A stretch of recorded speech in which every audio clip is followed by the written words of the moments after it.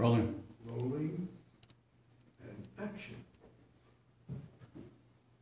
You taught me how to know the face of right, acquainted me with interest to this land, yea, thrust this enterprise into my heart, and come ye now to tell me John hath made his peace with Rome?